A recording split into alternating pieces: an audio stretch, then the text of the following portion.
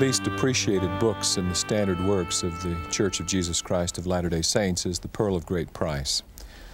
Here we have a collection of, what, 61 pages uh, that a person might be tempted to uh, overlook. I can recall one of my predecessors telling me that uh, uh when it was first contemplated as to whether there should be a course in The Pearl of Great Price, that uh, one of the university personnel questioned whether or not there was enough material in order to last for a semester.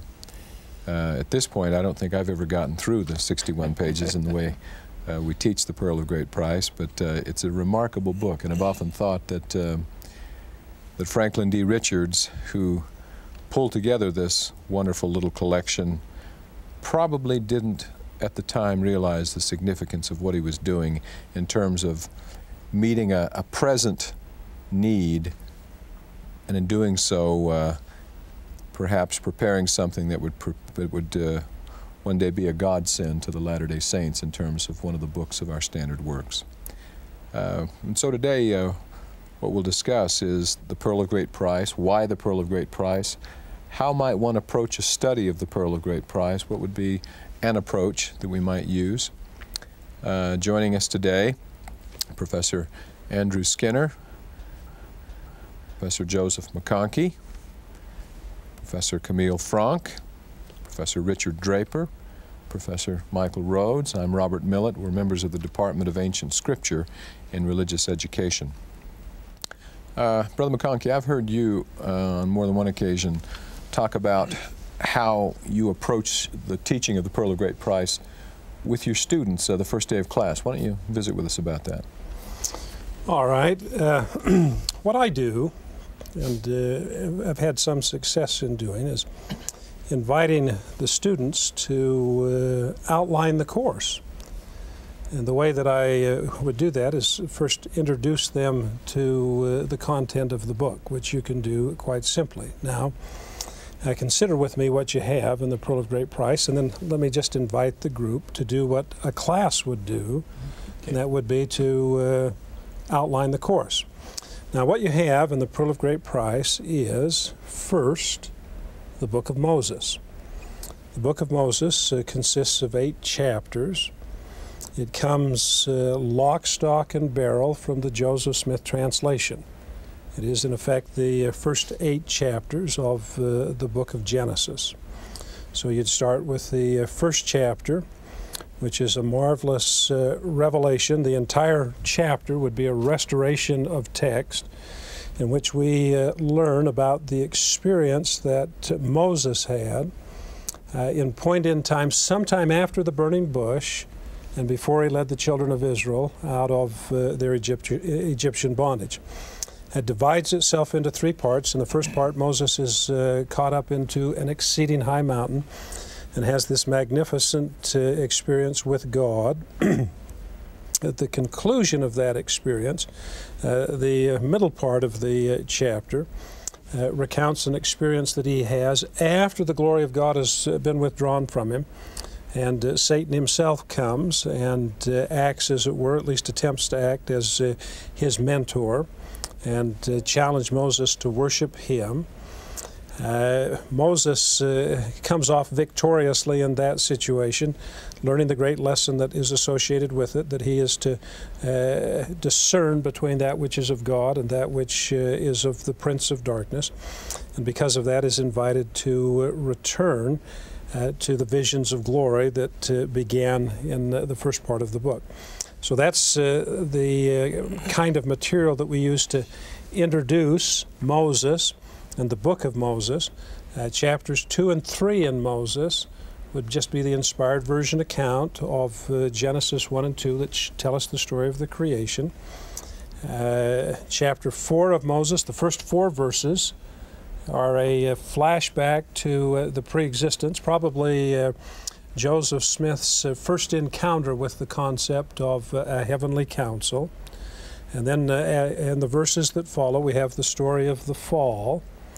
Then in chapter 5, we have a marvelous account of uh, Adam and Eve's experience uh, as they've gone out together now into uh, the lone and dreary world. And so it's uh, an extract from uh, the dispensation of Adam. The sixth chapter is primarily, and the seventh chapter together, uh, an extract from uh, the writings of Enoch, the uh, marvelous experiences that uh, Enoch had, which includes a, a panoramic vision of uh, the history of the earth from his day down into the millennium. Then uh, the eighth chapter is an extract from the experiences of and writings of Noah. As he goes out and de- declares the gospel prior to the flood. So that's what we have in the book of Moses. Then comes uh, the book of Abraham, which of course we get from the Abraham Papyri. Uh, we have uh, five chapters and three facsimiles. Uh, in the first chapter, we have this uh, remarkably uh, interesting account of Abraham, seeking after what we would really understand to be uh, the fullness of the blessings of uh, the temple or of the priesthood. then we would have uh, in the next chapter, among other things, our most perfect account of uh, the Abrahamic covenant. Then in the uh, third chapter, we have this wonderful priesthood lesson that uh, begins with uh, uh, this magnificent uh, vision that he has of uh, Kolob and the stars of heaven and learns of the order of heaven. And then this interesting transition into a discussion about spirits and the order of spirits. And then in the uh, final two chapters, chapters four and five, we return to the story of the creation, but we discover it's distinctively different than our earlier account of creation because this account is uh, telling us about the council of the gods where they created as it were a blueprint print for creation. So uh, that's what we have there. And the, of course the facsimiles uh, the first one uh, abraham on the lion's couch and where uh, he is uh, the sacrifice as it were. Uh, the second um, The hypocephalus. the hypocephalus, uh, magnificent overview of uh, really, The universe. The universe, God's, yeah. God's power. God's plan and power. yeah. Uh, and again, something that's closely related to what takes place uh, in the temple. And then we have the third with Abraham sitting on uh, the throne of Pharaoh and some interesting symbolism that uh, would be there.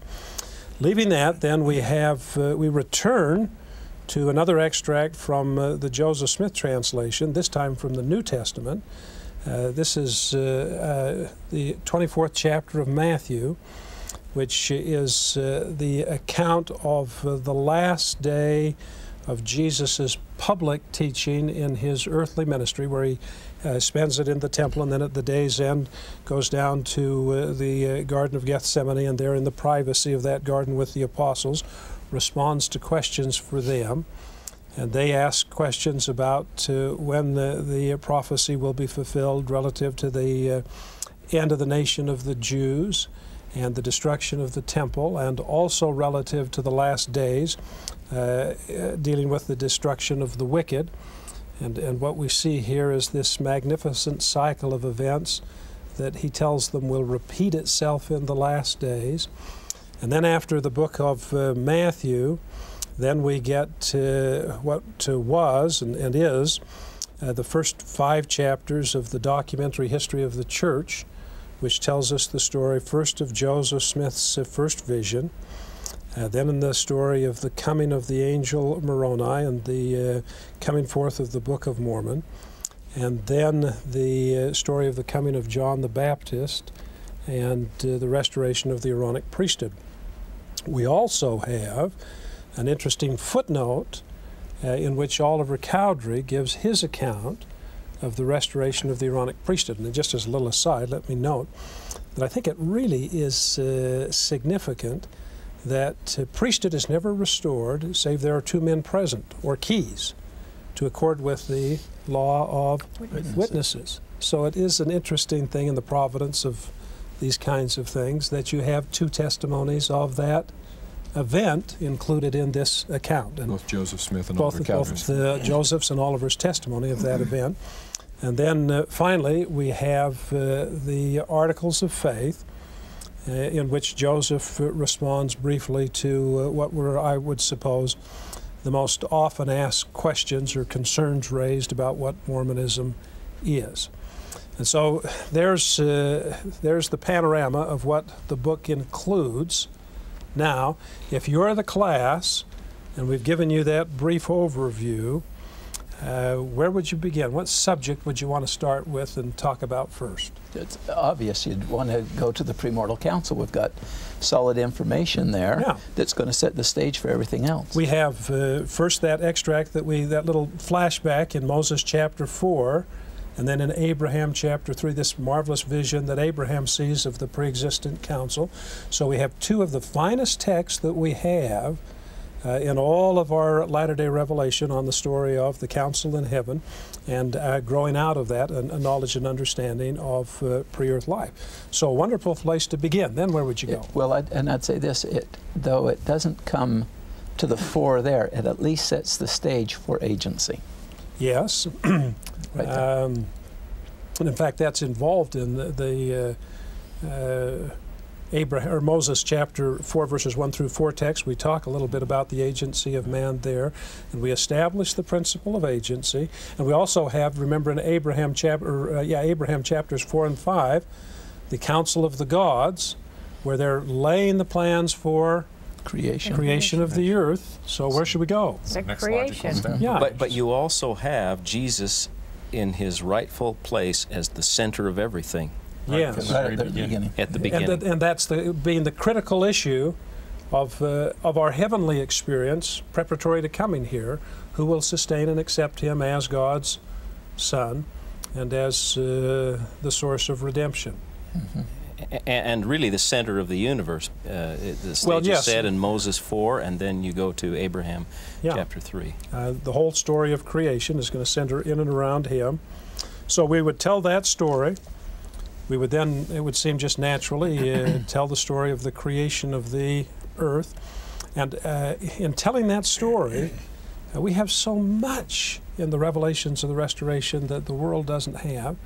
And really, uh, uh, the heart of what we have is found here in the Pearl of Great Price. So we could tell the story of creation next, then what would you do? The fall. The The fall. of Adam and Eve. Sure. We'd place Adam and Eve in the Garden of Eden, tell that story, and then uh, if we want to talk about uh, the great doctrines of the kingdom, let's uh, get straight the story of the fall. So we've got story, we've got uh, straight the story of the creation, and now we understand what it is that Adam and Eve fell from. And so And now we've got good. fallen man, and that it was good. A whole That's right. different The perspective. part of the Lord's plan. Yeah, a part of a divine A plan. fortunate fall, Yeah. as we'd say. Yeah, fall forward. Uh, and again, concepts that are totally distinctive to uh, a re- restoration of the gospel. Well, so now you we've got fallen man. Then you have to redeem them. And, and then, yeah, a reiteration of the necessity of Jesus Christ as the Redeemer. All right, uh, an announcement of the role of Christ as Redeemer. So, and we so, get so that. that would be the institution of the gospel or the first dispensation, the Adamic dispensation. Yes. The right, Lord yeah. revealing the gospel to Adam, Adam. and Eve. Uh, and, it, and it is the same gospel that we've got, and it centers in Jesus Christ and his redeeming role. So, uh, A and the first, test. And the first great thing he's going to teach them, Brother Richard, is the law of Sacrifice. sacrifice, which is just a type and shadow of Mm, The coming of Sacrifice Christ. the Jesus sacrifice. atonement Christ. of Christ. And then from there, Well, we then go. We can go, we can go on to Enoch. well, we've got this this uh, wonderful extract in chapter five of Moses of the dispensation of Adam, and then we'll go to the dispensation of Enoch. We've got uh, in the Bible. Oh. Enoch Boy, gets nothing. one Five or six complete verses in sentence. Genesis. he gets one complete sentence, and, And here. Uh, Nature and importance of prophets, right from the very beginning. wonderful uh, uh, concept of, of, of the role of a prophet and, the, and uh, how he is to function and, and how the Lord empowers him. And their dependence on the Lord as, as they, the growth. I think Adam, as we see him asking, why am I doing sacrifices, and how far he goes in that Wonderful lifespan. uh, uh, material on obedience and, Mm-hmm. uh, and how the gospel is taught, and this type of thing. All right, so now So you you've got over a Enoch. hundred verses, as it were, on the life and ministry of Enoch. You- We've got a hundred times in this little book on Enoch what uh, you can get out of the Bible. I, I remember going to uh, a junior college once to answer questions for a religion class there about the church, and and I started talking a little bit about Enoch, and I looked out at this sea of vacant faces. You know, I mean, I, and it dawned on me I was talking about something that I had assumed, I assumed they knew who Enoch was, and, and they didn't have an idea in the world. No, he happens to be one of the was. most enig- enig- enigmatic figures in the religious history. Yeah. And, and what we learn in the book of, uh, well, in a sense, the book of Enoch, but Moses 6 and 7 particularly, wonderful. So, uh, uh, dispensation of Enoch, where should we go? Noah? Dispensation of Noah, chapter 8. We learn some very interesting things, though the chapter itself is quite concise about Moses or Noah. Gives us a whole uh, different perspective of who he was and what he did. And So- why the floods came, And we- why the which flood we get came. nowhere else. Yeah, it's Except in the gospel Yeah. of Jesus was- Christ. Right. Exactly. Baptism of the earth. So uh, now we've got uh, Noah, Right into Abraham. and that leads Moses. right into Abraham. Abraham, and so we've got uh, we've got more good material on Abraham and a greater perspective of what uh, uh, he was about and about this marvelous uh, covenant that is really the the story that everything else traces back to in the Old and New Testament from that point on. But it's the covenant too that was given to Adam, so it's not like it's starting yeah, it didn't something. really begin with Abraham, That's but right. Abraham becomes the focal That's point right. of uh, of the covenant, and and there it's unfolded for us. So we got the Abrahamic covenant, we got the dispensation of Abraham, Then we move into Moses. and so just as natural as can be, you move into uh, Moses. That takes us back to Moses the first chapter of uh, of the book, but uh, a wonderful account of how the Lord prepared Moses to uh, lead the children of Israel and uh, a host of other things uh, about the uh, creation and so forth, and the preparation that was his to write the creative account. So you've got the dispensation of Moses, Well, then you have Jesus. and so you have the meridian of time. You've got this uh, interesting Matthew. extract from uh, the Meridian of Time, Joseph Smith Matthew, which divides itself uh, versus. Uh, they're asking their questions in verse 5, and uh, you get the answer to uh, the, the contemporary answer for their day down through the first part of verse 21. And then starting at that point, you give the answer to uh, events of the last days. And, and we discovered the, the key that unlocks the whole thing are a series of verses and again, and again, and again. And so we see this cycle of history which repeats itself. All of a sudden, it starts to dawn on the student oh, now I see why we have to study uh, uh, Old Testament and New Testament because it's the key that unlocks the future. Sure. uh, it gives purpose to a lot of things. So we have the meridian of time, and then Joseph into Smith. then Joseph Joseph Smith. And Joseph Smith has been foreshadowed all the way back in Moses 1 That's right. Uh, he's mentioned as as one like unto Moses that would be raised up and restore things that had been lost that Moses had originally which. So this ties the whole story together. What's he going to restore? Everything that reaches right back to the days of Adam. Adam, and the dispensation of the fullness, the fullness of what? Of all past dispensations. So what you have what you have here, interestingly, then, if you think about it, I don't know how many dispensations there have been in the past, but but we're talking here about seven major dispensations, all being represented in 61 pages. Yeah. And along about this time, it dawns on me that this really is a presentation of the of the eternal nature of the gospel. The the gospel from eternity to eternity. It is the perspective on, it eter- on eternity in 61 pages, which is astounding, isn't it? 61 pages, and you It- get all of that. Yeah. It's. Uh, And back in, in Moses chapter 1, it, it, it, it carries that perspective not only to this earth ar- itself, but to, the, To- all of the creations yeah. of God. yeah. Worlds without. Now we're not going to let you get distracted with that. No, heavens. Only an account of this earth give I Unto unto you. thee. But still, you can see that this fits where it fits in the midst of eternity. Just as the prophet, uh, like Moses, gets caught up on the high mountain and he gets to see where he fits in the midst of eternity, and just as we, as we uh, work ourselves through this remarkable text, get to see where we fit in the midst of Eternity. eternity. Now, uh, back in the uh, Enoch panoramic vision, it reaches down. It gives it gives these very concise little descriptions of uh, the dispensations that will follow after Enoch, and then uh, Ascendance gives a description of our own dispensation, and, and then gives a description of uh, the millennium. Uh, with the uh, New Jerusalem and uh, the city of Enoch coming back down to uh, join them. So uh, it expands our course at least to that extent. So now, class, as it were, do you see what we've got in this book? We have got the most comprehensive course ever taught on the face of the earth. Do you think we have a semester's worth here then? A lifetime's wow. yeah. Well, I mean, we really do. You want to talk about a text that you have to grow up into. Uh, this really has to be it. We're starting with the pre-existence. We are telling the story of the creation. We are telling the story of the fall. We are telling the story of the atonement. We have uh, extracts in this book from all of the major, excuse me, gospel dispensations, from Adam down to Joseph Smith, and even prophecy that reaches over into the millennium. Now, there's no uh, university that you can go to on the face of the earth and take a course like that, Other than here. other than here. And Ricks. And, uh, Church College of Uh, Hawaii. yeah, you got it. Well, you've got to have the Pearl of Great Price as. Did we skip? text. Did we skip the Articles of Faith? Oh yeah, we didn't. We didn't get to the Articles of Faith here, but I never get to them in class either. Simply because there is so much to uh, talk about, Yeah. and not because they're not uh, uh, remarkable. See, Well, I, we, we generally work them in where, where they fit. I Well, mean, yes, they- that's they- right. They fit very comfortably within. Well, you see, if the you want to talk about do we have enough for a course, my father wrote an 800 plus page book on the Articles of Faith, Faith alone. Yeah. So uh, we've got material enough here. And every time I pick up the Pearl of Great Price to read, I'm going to ask the question Could any man who was not a prophet have written this?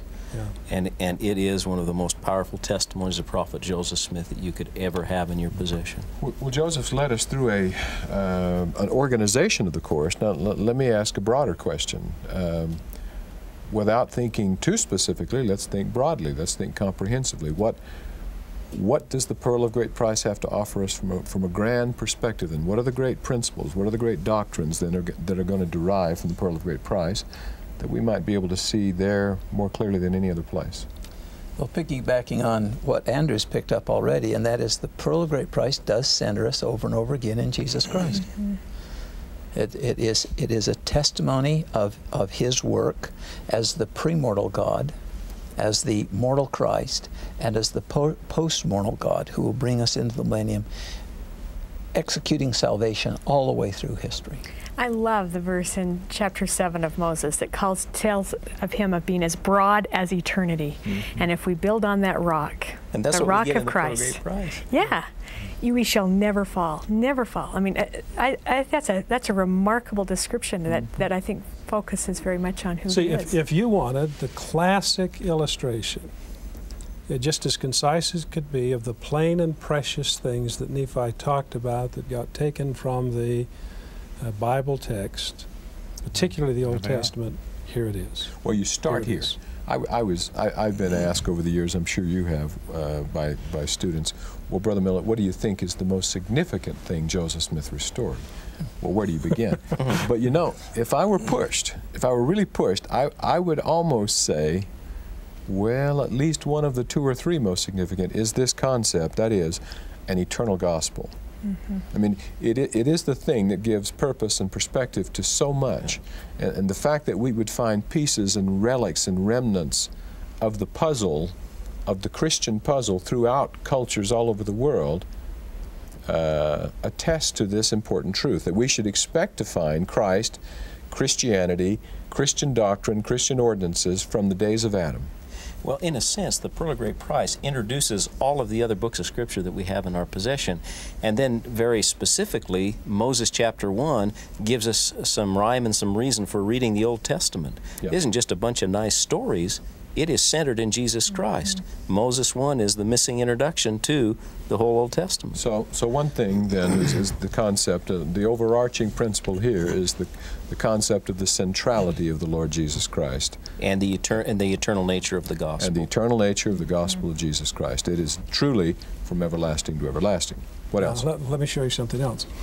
Uh, I, on occasion, go down and, and talk to the missionaries in the Missionary Training Center.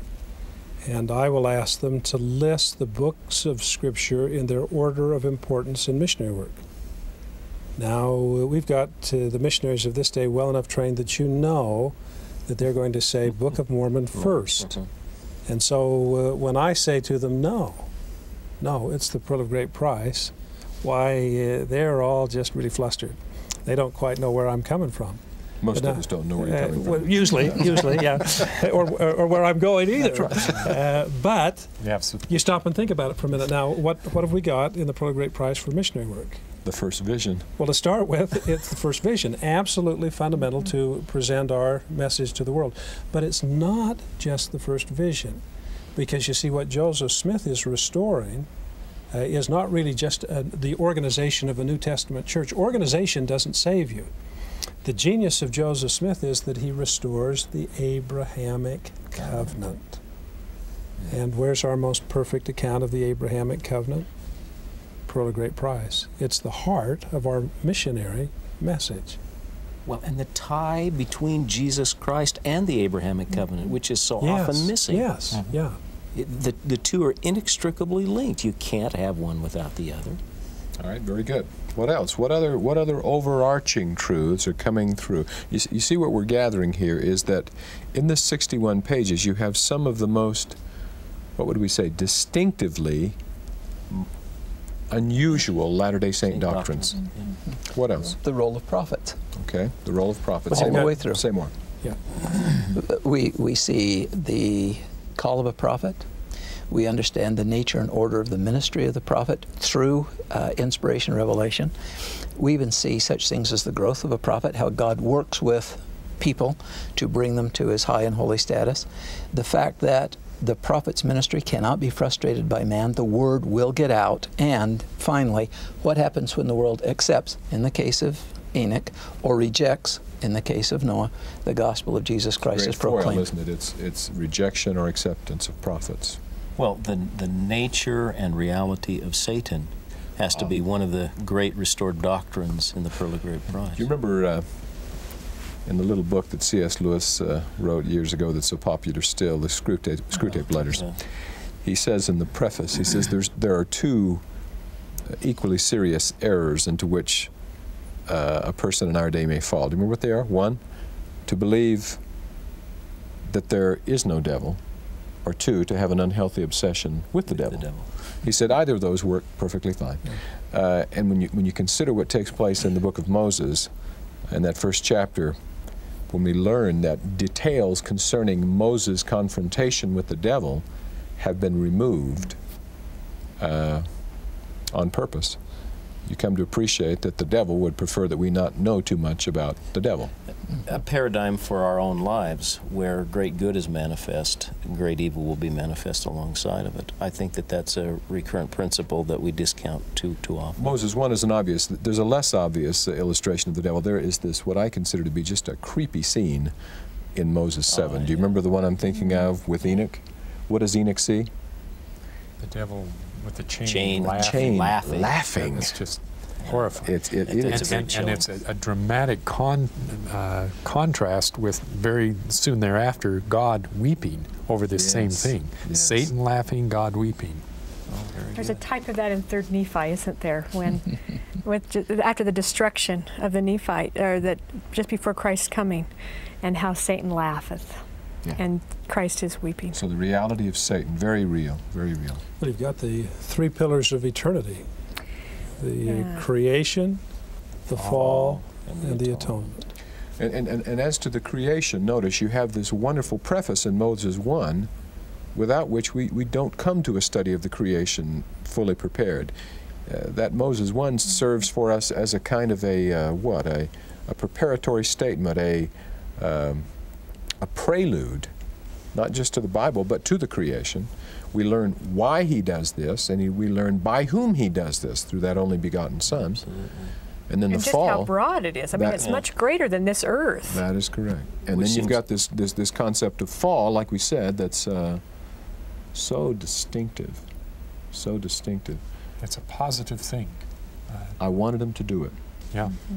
And they rejoice afterwards. And, the atonement had it not happened, the, the whole of God's plan, uh, purpose would have been frustrated. And Adam's transgression had already been forgiven him through the atonement of Jesus Christ. I've often wondered what, what, what difference it would make in the Christian world if that concept of, I have forgiven thee thy transgression in the Garden of Eden, were understood.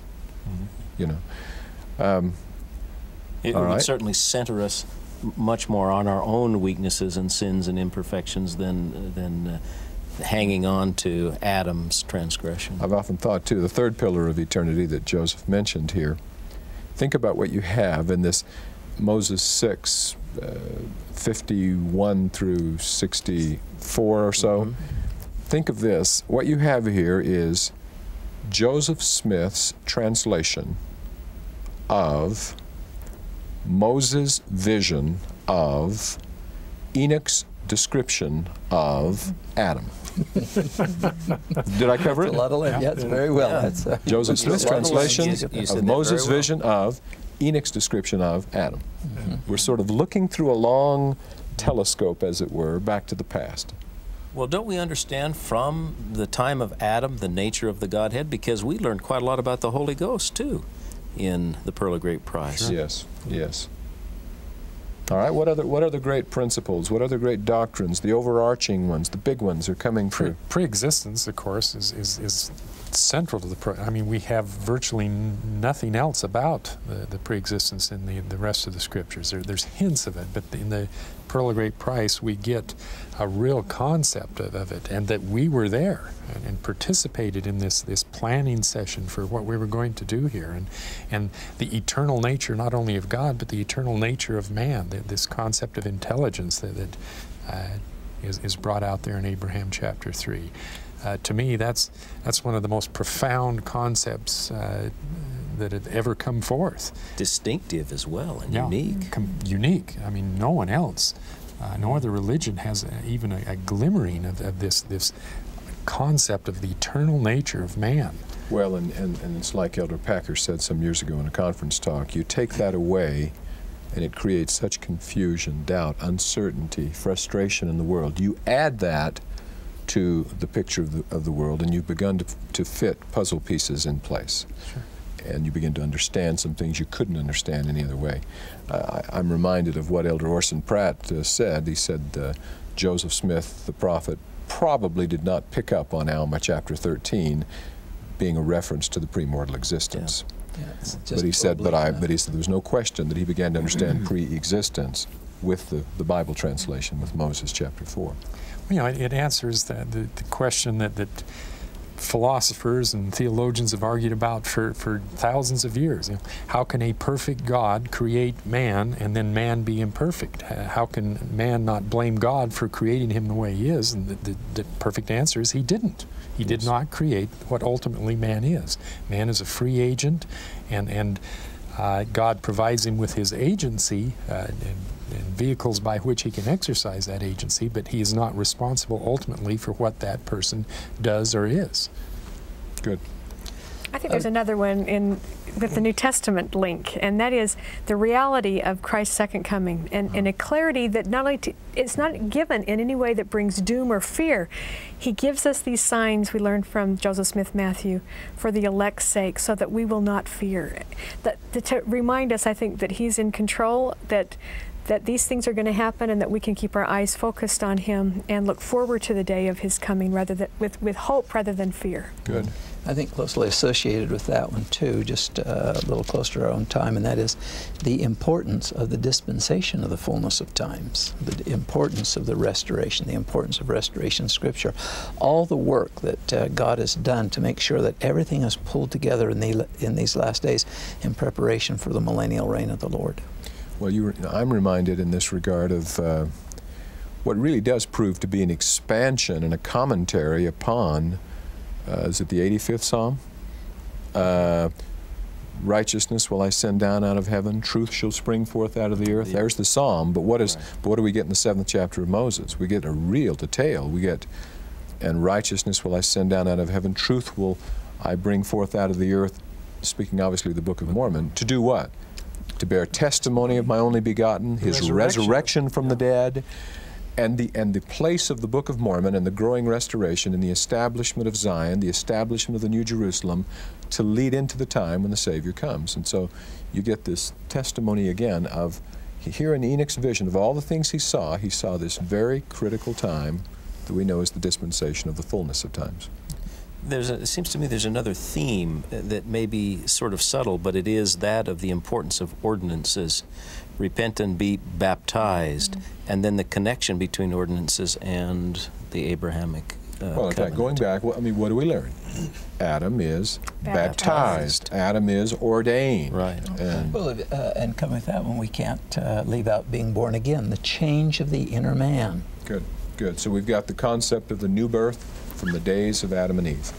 And, and also, uh, one thing that, that, we also pull out of uh, the explanation of facsimile two is the fact that temple ordinances are from Adam forward. Each each man who holds the priesthood, part of, of holding the priesthood is, is ultimately that those those temple ordinances that that bring about the fulfillment of the Abrahamic covenant. God revealing the grand keywords of the, the holy priesthood to Adam and Seth and so forth. Right on and any and every other person who held the keys of this priesthood. Exactly. Ordinances are conduits of power and revelation. Good. We get that clearly presented in the. And so you get this born again, but it takes us all the way to become like He is. Mm-hmm. That mm-hmm. that whole mm-hmm. scheme. Full spiritual transformation. Anything else come to mind as far as great messages of? Well, you can see that the great capstone, the pearl of great price, are the articles of is the articles of faith, uh, because it, it, it's a summary of all of the great doctrines of the restoration, and uh, and succinctly presented to anyone who will take time to look at them. All right. Is there anything else we ought to say about this remarkably unusual but uh, heavy and impactful 61 pages? Well, just uh, one thing that impresses me, and that is the Pearl of Great Price did not come to be, come into existence as canon. The Book of Mormon is premeditatedly canon. Mormon knew what he was doing. He just absolutely knew. The Doctrine and Covenants, Joseph Smith was commanded to write the scripture for our day. But when Franklin D. Richards pulled together these wonderful gems, these pearls of the Restoration, it was not canon. It was it was scripture, but it was not designed initially to be a for standard work. It was designed to meet the needs of a day, and therefore I think the Pearl of Great Price, Price teaches us the principle of line upon line, precept upon precept. And if I can capitalize on that a little, I, uh, I've shared with some before the interesting experience I had at. Uh, at uh, Florida State University as in a biblical seminar where the professor is defining the word canon, the canon of Scripture. And, he, and if he had written once, he must have written ten times the words. Canon means closed, set, fixed, and established. one of the students, had, after about two hours of this, one of the students had said, Well, what if what if a book of Scripture were found and we could verify that it was indeed the Gospel of James or, or the Gospel of Bartholomew and it was, it was authentic? No, he said, it couldn't fit because the canon means closed, set, fixed, and established. Well, we spent about two hours on that.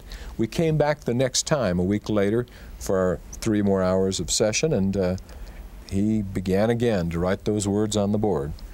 But this time I sensed he was a bit nervous, and uh, there was something not quite right. I thought maybe something was on his mind, and there was something on his mind. He put the chalk down, he banged his fist on the table, and he looked at me and he said, Mr. Millet, there were only about eight of us around the table. He said, Mr. Millet. I said, Yes. He said, Will you please explain to us the Mormon concept of canon? I mean, you have other books of Scripture. How does it fit? And it wasn't something I was ready for. but, I, but I looked up at those words on the board and I said, Well, I guess you could say that the Latter day Saint canon, uh, concept of canon is we believe the canon is open, flexible, and expanding. and then we had a really interesting discussion. Uh, and I think that's what the Pearl of Great Price illustrates that nothing is more set, fixed, and established, but that God will continue to speak to man over and over and over.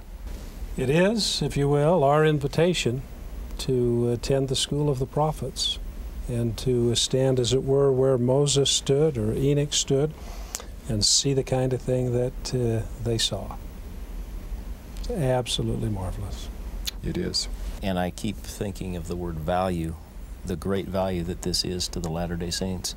And uh, it reminds me of the words of Jesus. The, the kingdom is like a merchant man seeking goodly pearls, and when he finds that one pearl of great price, he sells everything to have it, and that's what we've got. We have something here that is truly worth more than silver and gold.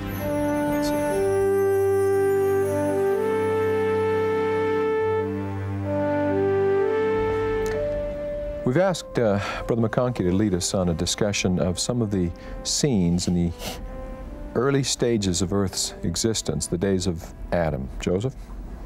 Thank you. We have uh, in the book of Moses some remarkably interesting and instructive uh, material restored to us about uh, the man Adam, uh, the woman Eve, their family, and uh, key events uh, in that early dispensation. Uh, the two key chapters uh, in the book of Moses would be chapter 5 and then the early verses in chapter 6. Let's uh, look at a couple of verses uh, here in chapter 5 and then uh, as commentary on their sons and daughters, on their family, go over to uh, chapter 6 for a moment. But if you'll notice, uh, the fifth chapter begins after Adam and Eve have uh, left the Garden of Eden. We read in the first verse that they labored side by side in the fields. Uh, we read in the second verse that Adam knew his wife, and she bare unto him sons and daughters. Uh, a wonderful restoration that we uh, don't have, for instance, uh, in the Old Testament as it presently stands for us. And we read that they began to multiply and to uh, replenish the earth. And from that time forth, the sons and daughters of Adam began to divide two and two in the land, and to till the land, and to tend flocks, and they also begat sons and daughters. So within the first three verses, uh, Adam and Eve are uh, grandparents and great grandparents. If we want a little bit more detail, let's uh, go over to uh, the uh, sixth chapter, and we learn a little bit about uh, how the family was educated. We read in the fifth verse that a book of remembrance was kept uh, in the which was recorded in the language of Adam, for it was given unto as many as called upon, upon God to write by the Spirit of inspiration. And by them their children were taught to read and write, having a language which was pure and undefiled. You know, you get you get here, Joseph. You get something presented very early. The notion that our first parents, or those who lived in the days of Adam, were not primitives. That is, we're prone to view history too often in a linear way, in which we assume that everything that's back here is on a lower Everything's scale. evolving. Everything is evolving, but what we really find here is these people are being taught by God. We would presume that was pretty good instruction, and uh, and given a language that's described as pure and undefiled, they they have something from which it may well we may well, well learn one day that we have fallen Yeah. or well, have lost. Devolved. Yeah, it, we, it's the devolution of language that we're getting here, and not the evolution, Yep. which I'm sure would uh, be very much at odds with the, the uh, kind of theory that we would be taught in a classroom about uh, where our language came from. And yet, uh, most ancient languages are considerably more complex Yes. grammatically than, than Than later our- than our languages. own. You, you do see a, a devolution there as well. Yeah. This, uh, so Adam's children, see, they study at uh, the uh, University of uh, A and E. That's what their sweatshirt said, Adam and Eve. uh, Professor Adam and Professor Eve. They had the, the general ed requirements would be the three R's: reading, writing, and uh, religion, I suppose. Yes. And uh, Revelation. and Revelation. Uh, so they would have been uh, uh, well educated. Uh, we read that uh, this verse, in a way, doesn't flow with the others, but it's a very significant verse, verse 7. The same priesthood which was in the beginning shall uh, be in the end of the world also. Uh, but that's very important to the, the big picture in the story that we tell about a, a, restoration of all things. Well, I think there's something else going on uh, that does make it seem to fit a little bit. I've noticed we're reading along and we kind of get a little hiccup right there. And especially since we haven't had an antecedent to this same priesthood in there. But we are talking about a, a family order and a teaching order. And therefore, I think it's talking about the fact we've got family priesthood or patriarchal priesthood in operation here, and this is the way the families are organized and the, how the teaching gets done. Well, it, it gives to us, too, it's a short verse, but it gives to us a prophetic pattern of where we're headed as a church. And, and we see that. The focus on the family, the, the mm-hmm. constant emphasis upon how more and more things must be done by mom and dad. More and more things must be done in the family because that's the way it was intended from the beginning.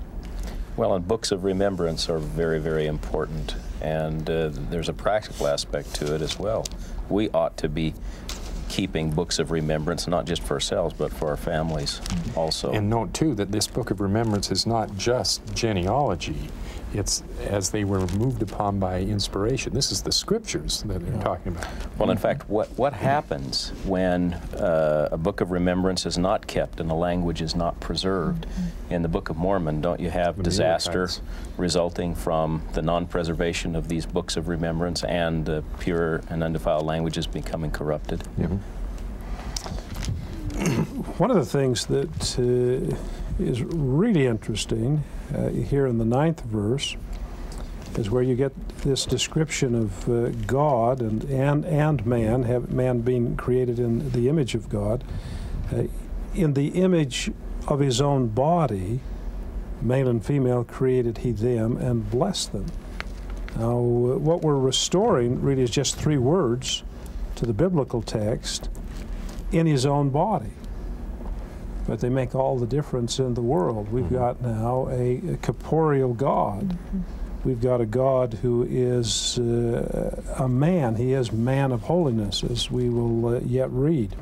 But I think it includes the two, male and female. Yes. Yeah. Uh, and, and so there's an implication there. That's and right. again, this is, uh, see, I, I, we, we talk about uh, the text where uh, Adam leaves the Garden of Eden, uh, where, where we're told, uh, therefore will a man leave father and mother, Mm-hmm. cleave unto his wife and none else. Well, it's a little tough to leave father and mother unless you have one. Now, the text. That's doesn't uh, yeah. make a lot of uh, uh, But it's reference there. to it, but, it, but it's there if you're looking for it. Just as it's tough to be created after the image of God's own body if he, He if doesn't got have a one. have physical one. body because Yeah. an image is a replication. It is a, is a copy of something. Well, and, and verse 10 makes that clear because then Adam has the son in his own likeness after his own image. The same words are used. Adam starts doing the very same, same thing that God has done, Yeah, begetting so sons and daughters in his is- is likeness. clear. Wouldn't you say this is probably one of the very earliest references to a doctrine that's pretty fundamental to Mormonism? In other words, this is November, December 1830. Yeah, it, it, uh, it isn't as if anything is uh, an afterthought with Joseph Smith. The, uh, the seeds are all planted and everything progresses in a very natural order. Uh, the Book of Mormon makes a marvelous contribution to our understanding in, the, in that it uh, uh, defines resurrection for us and makes resurrection corporeal, something that is just law. You can read the Bible from Genesis to Revelation.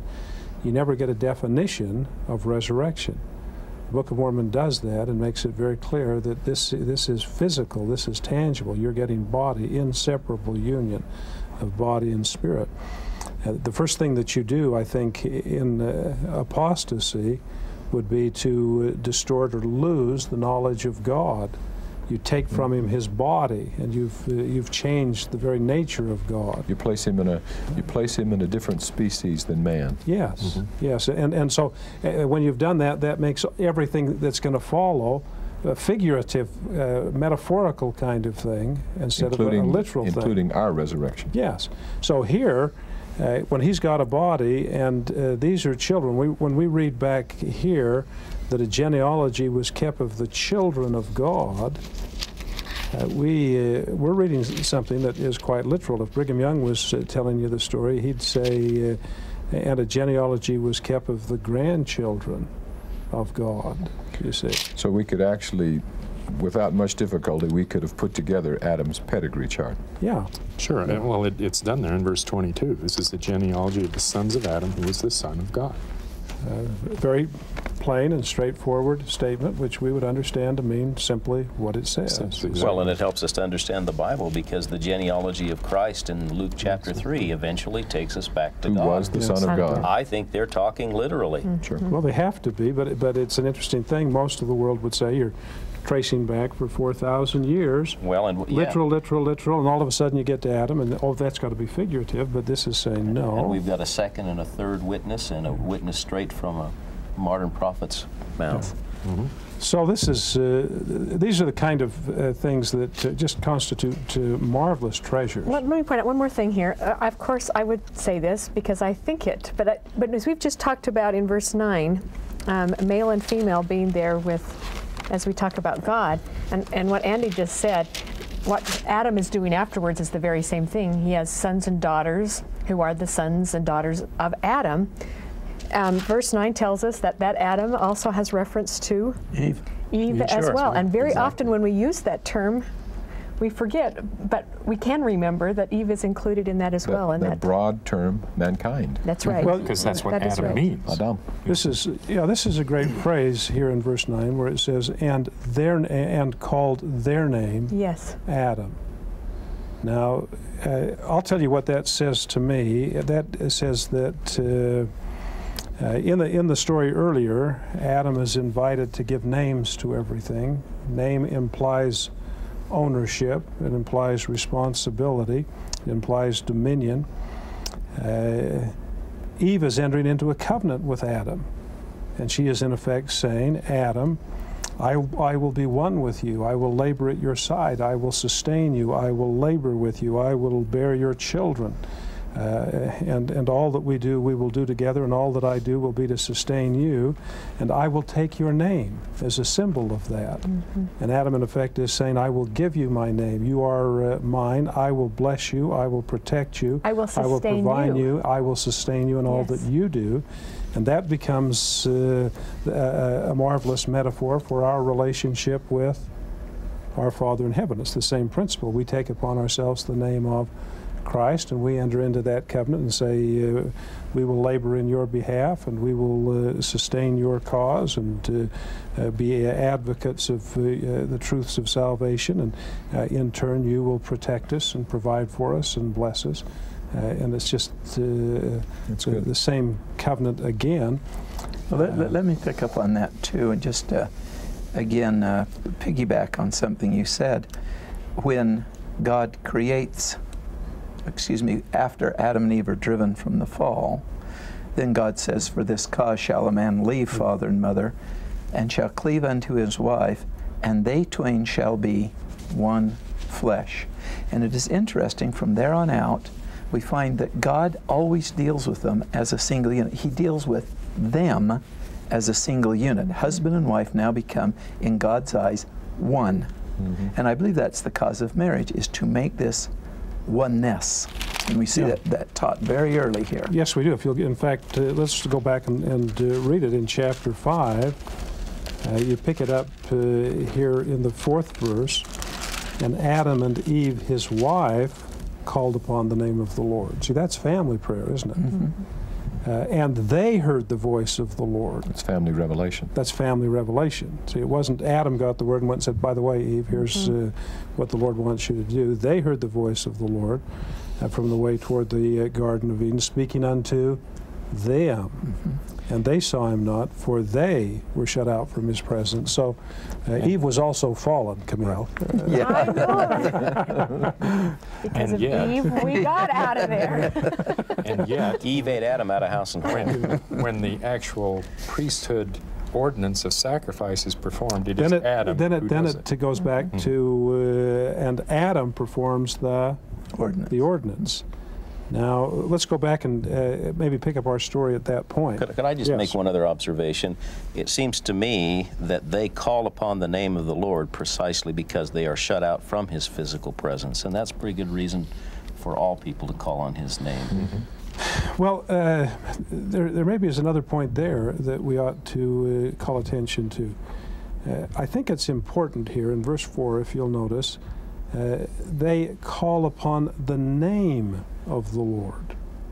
Now go down to verse 8 and notice again, Wherefore thou shalt do all that thou doest in the name of uh, the Son. If you turn over the page and you uh, look at uh, verse 10, uh, in the middle of the verse there, Blessed be the name of God. Uh, you go down to verse 12, and Adam and Eve blessed the name of God. Now, in each of those instances, it would have been easier just to say they blessed God uh, or uh, they called upon the Lord, but it doesn't say that. It said they called upon the name. Now, we've got a doctrine of names here. There's a very important doctrine of names.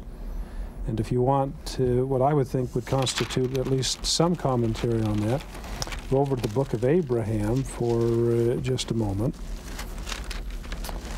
and uh, go down to the 18th verse there. Of which chapter? Uh, excuse me, the first chapter of Abraham, and go down to verse 18. The Lord speaking to Abraham, Behold, I will lead thee by my hand, and I will take thee to put upon thee my name, even the priesthood. Now, uh, I think that uh, there is something very significant that's involved here. I don't think that this is just a matter of uh, uh, semantics. I think that we're uh, talking when we use that phrase and go out of our way to uh, use it, that we're associating uh, their relationship with the Lord with priesthood and with priesthood ordinance. I think it's several things, in fact, Joseph. I think the other thing is consider that uh, the name of something. What is a name? It is something which identifies, it is a word or a phrase or a slogan that identifies the essence of something. Yes. So, for example, if the Quorum of the Twelve were given an assignment that they're to be special witnesses of the, The name, of Christ, in all Not the just world, the uh, witness of not just Christ, of Christ, the name of Christ in all the world, they are called and sent out and commissioned to bear witness of all that He is, of His essence, His power. Well, but, he is but it's God. also of his priesthood And and, of- the and of- government of, the church. That's right, of his and all the revelations that have come from him, and, and to see that all of those things are in order. Apostles just don't go out and uh, uh, and bear testimony of Christ. They go out and make sure that the church in, is in order and the priesthood is functioning the way it ought to, and uh, that type of thing. And all of those things would come under the heading of name. Those things bear his name, and they're responsible to see that they're bearing that name properly. Well, there's something else too that's going on in the ancient world, and that is when an exchange of names occurs, it connotes and denotes uh, an intimacy of the relationship. And, uh, and uh, you have text or documents from the ancient world that talk about people that don't know the name of this God or that God, therefore they don't have a relationship with him. And to gain the name is to gain power with that God. with, with that God. And, and to erase the name would be to destroy the essence of. And Right. So the, in, in Egypt, they used to go around and chisel off the, names of, exactly. That's of right. the, uh, of Pharaohs. the pharaohs, Well, and, and then he was lost. And this essence thing that you brought up is so critical because how many times in the Old Testament do we see the name of a person symbolizing the essence or course or direction that their life took? You know, you can think of dozens of examples. I, I, there's enough involved there, uh, and, and again, these are little things, but there's enough little things in here that uh, I think are really profound. That uh, you just have to say Joseph is really lucky guesser as he makes this story up, isn't he? I mean, that little Joseph phrase in his own, yeah, Joseph Smith, Okay. in his own body, and and the name of the Yeah. son, and uh, and, and we'll find scores Well, he of did them. okay with a limited education. He surely did.